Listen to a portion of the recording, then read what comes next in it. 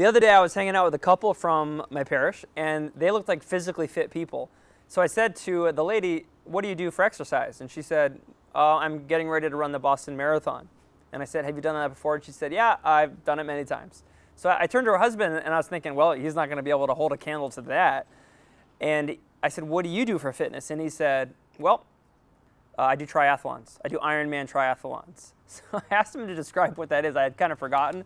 So here's what you do in a triathlon. You, you like swim like over two miles and then you, you bike over 120 miles. And then when you're done riding the bike, you proceed to run a marathon. This couple was on my mind not long ago when I, when I got to preach on the reading of um, Jesus saying, uh, the greatest law is to love God with your whole heart, your whole mind, your whole strength. Holiness, you know, which is also known as loving God, is a lot like physical health. It's like fitness. It, it, it, it doesn't do away with everything else in your life. It restructures everything around a kind of coherent center. So think about training for a triathlon or Boston Marathon.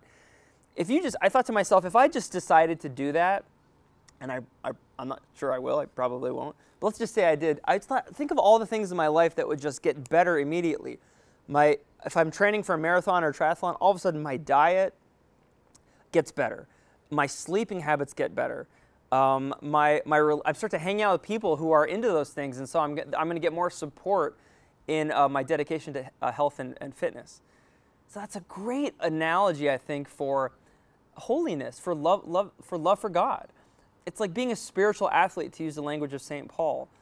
We should get excited about loving God and loving our neighbor in light of that great commandment that Jesus gives us with, with the kind of passion that I saw in that couple that loves uh, marathons and loves doing triathlons. And what happens when we do that? Other things start to fall into place. As I start to make God the center priority of my life, now my other relationships, work, my hobbies, uh, all the other things I love now start to kind of get in proper balance and proper order uh, around that, that great center. Have a great day, everybody.